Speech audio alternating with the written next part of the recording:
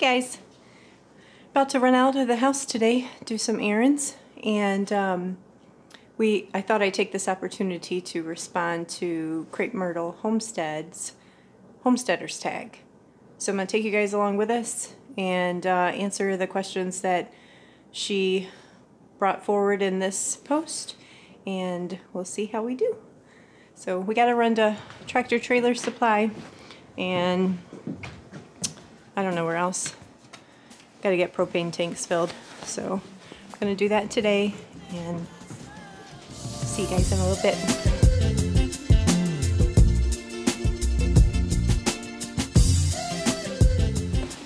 So we got dumped on with snow yesterday. Like a lot of snow. I think like 12 inches or more. We got about another inch this morning, half inch or so. And yeah, I don't know if you can see that, our, our path just to the backyard. Um, we've got another probably two inches or more coming tomorrow. So we're gonna get outside and play today too. Go redneck skiing in the backyard. That'll be fun. Don't you hate it when snow falls on your seat when you open the car door? Like the last thing that you want is a cold rear end. Okay, so question number one was what inspired you to start homesteading? And uh, we talked about this a little bit um, in a couple of our videos, and it was really just a long journey of kind of self discovery about the big ag food situation that's going on in the country and how not real our food actually is. And it was also uh, me getting lost in the corporate environment. Um, kind of lost a sense of self and a sense of purpose. And is what I'm doing in this everyday hectic go to work stress. It was very, very stressful environment, very politically driven, and um, really left me with no energy uh, when I would get home. I found myself very depressed, and I knew I personally wanted to change in my lifestyle, um, a change in what brought me joy day in and day out. And through that process, we were watching different YouTube channels and uh, just enjoying following the lifestyle that other people were living, whether it was in a off grid living situation, whether it was um, homesteading on a small scale versus big scale, I thought of everything. I'll tell you that story another day. But anyway, it's kind of just a two, three year journey of just lifestyle evaluation. So say hi. Hi. Okay, question number two is Are you off grid or do you have some modern conveniences? We are not off grid at all. Um, we're completely on the grid, city water, power. Um, we do have septic system. We're not connected to a city sewer system. Um, but the good thing is, is we do have wells on the property that we've yet to harness um, the water from them because they're somewhat abandoned. So we do need to do a water test. And as long as the water's good, we'll have a means to provide water for ourselves and uh, anytime a situation arises that we would need to, but also be able to water our garden, water our animals more efficiently, um, and at less no cost to us. So that would be a good thing. Um, we do, however, though, have an off-grid property, completely off the grid, over on the west side of the state. Yeah, it's in a beautiful forest called the Manistee National Forest. Um, we're surrounded by, I think, close to 4,000 acres of forest. Um, and we have a river that runs through the property. that provides our water. Um, we do have the ability to hook up propane for stove or refrigerator refrigeration needs. Um, we do a lot of our cooking though over at the campfire while we're there. We have tons of woods, being that we're in the forest, so we have endless supply of wood. What else do we have there besides that? Um, oh, the propane also provides. Um, there are some propane lights that are run through half of the cabin, so that does give us a means for lights. But we also have our kerosene oil heaters or oil lamps and everything there. So, in a terrible situation, we we know how to take care of ourselves. So I'm not concerned about that. Um, do you garden? So the next question is, do you garden? If so, is it raised bed or in the ground? And um, so this will just be my third year gardening with any success, I should say and ours are started out the majority raised bed gardens. This last year we did because we at least me, I don't know Todd if you felt this way. I really felt like we had good soil in our new homestead. It was sandy, loamy, I guess in certain areas. So in the front half of the property, it really looked like good soil. So I wanted to try two beds in straight in the ground. So all we did was we just did an initial till.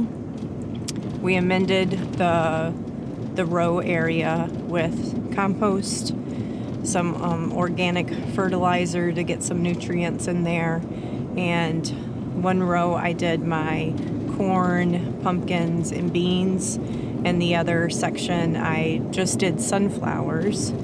Um, as a test to kind of really drive those roots down and make sure that we had good drainage in that space. And it worked really, really well. We had excellent corn production um, and excellent sunflowers. So I kept those beds going this year. I'll do the corn again in the same bed.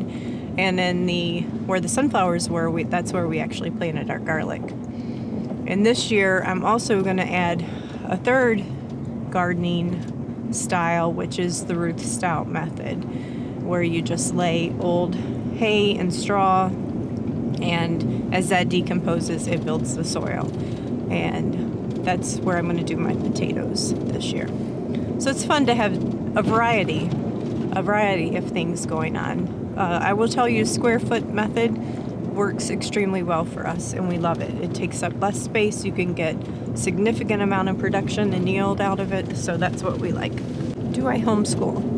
No, I do not homeschool. We only have one daughter left in school. She's a junior, finishing up her junior year in high school. I will tell you, before I started my career, I was a stay at home mom for the first eight years of my children's lives, and I did try homeschooling. Um, one virtue that you must have to all you wonderful homeschooling mothers is something called patience, which I do not have. My first child was an excellent student, super easy to homeschool. My second child is just like me. Honestly, we're a spit image of each other, personality, everything. And I was a challenge when I was a young student, and he was a significant challenge as a young student. So, um, it just worked out that as he was would have been entering kindergarten was when I entered the workforce. So um, yeah, we we chose to just go ahead and go with the regular public school program. How many animals do we have? Well, again, another tricky question because I think if you homestead, you're, you're going to see ebbs and flows of the animals on your property, at least in my interpretation of how we homestead. So right now we only have our laying hens, and that's all that we have. But last year we did raise our own turkeys, our own broiler chickens, and we raised ducks to harvest. Um, I would say accidental ducks to harvest because we bought those ducks for eggs and they turned out to be all boys, and I wasn't having any freeloaders on the property. So this year, though, the we'll do the same situation minus the ducks. We'll raise our turkey, we'll raise our broiler meat chickens. We will also um, be adding pigs to the farm, and we have goats coming to the farm, um, which will be our future dairy. Source. Hopefully, if it all works out. Um, so that's what we've got. And uh, next question is Do you prefer milk goat versus goat? Or no, milk goat. Do you prefer goat milk or cow's milk? I will tell you, I'm just not a milk drinker, so I don't know that I necessarily have a preference. What I want the milk for, so my kids are when they come home, so they'll probably be the ones to tell you if they have a preference. but what I want milk for are things like yogurt and cheese, because we're big. I'm a big yogurt eater if I have it, and I much prefer real yogurt to the store bought Dannon stuff. Um, I like the runnier yogurts. And Todd is a ginormous cheese eater, and so we're hoping that we'll be able to make some good cheese and butter. But I know it's going to be tricky to make butter from goat's milk, at least from what I've heard, but we're going to see if we can figure that out. Okay. Um, does your homestead make money? If so, how? Our homestead doesn't necessarily bring money in. Our goal of our homestead is to decrease the amount of money going out to sustain ourselves. So the fact that we raised our own meat. I haven't bought an egg since last July. Um, pretty soon we'll have our own dairy. We won't be buying the yogurts and the cheeses. So that's really the goal of our homestead is not necessarily to produce money. It would be good if I could cover like cost of feed. Um, there is a what do you call it, honey? When the a saturation of we live in farm country. So there is a huge saturation when it comes to fresh eggs for sale. So to even try to get in that market would be tough.